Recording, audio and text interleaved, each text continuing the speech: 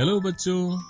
इस वीडियो में हम घन क्यूब और घनाभ क्यूबॉइड को नापना सीखेंगे। गग्गू अपनी दुकान में बेचने के लिए इस तरह के घन आकार के ब्लॉक्स लाया है। हर घन आकार के ब्लॉक की सभी भुजाएँ एक सेंटीमीटर की हैं। मैं इन्हें एक घन आकार के डिब्बों में पैक करके बेचूँगा। ये सोचकर गग्गू ने घन आकार के डिब्बे खरीद लिए। लेकिन हर डिब्बे में कितने एक सेंटीमीटर के घन आएँगे? गग्गू सोचने लगा। फिर गग्गू ने उन घन आकार के डिब्बों में से एक डिब्बे के किनारे की लंबाई को नापा। अच्छा इस घन आकार के डिब्बे की लंबाई 10 सेंटीमीटर है और इन घन आकार के हर ब्लॉक की भुजाएँ एक सेंटीमीटर की हैं। इसका मतलब इस डिब्बे की लंबाई 10 घन के बराबर है। अब मैं इस डिब्बे की चौड़ाई नाप लेता हूँ। डिब्बे की चौड़ाई भी 10 सेंटीमीटर है।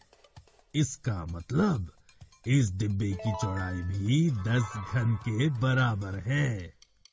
अब गग्गू ने डिब्बे की ऊंचाई नाप ली।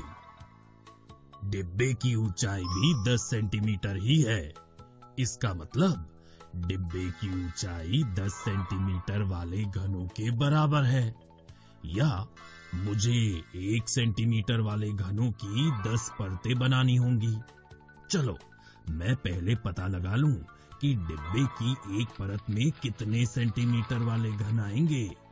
डिब्बे की लंबाई में 10 घन आएँगे और इसकी चौड़ाई में भी 10 घन आएँगे। इसका मतलब इसकी एक परत में 10 गुणा 10 या 100 घन होंगे और डिब्बे में ऐसी 10 परतें होंगी। इसका मतलब इस घन आकार के डिब्बे में सौ गुणा दस या हज़ार घन होंगे।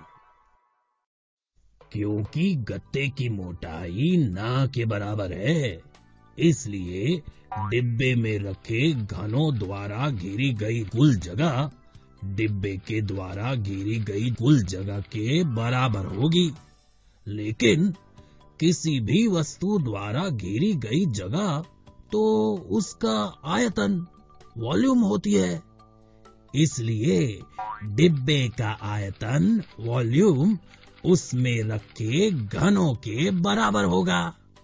इसका मतलब इस घन आकार के डिब्बे का आयतन एक हज़ार घनों के बराबर है।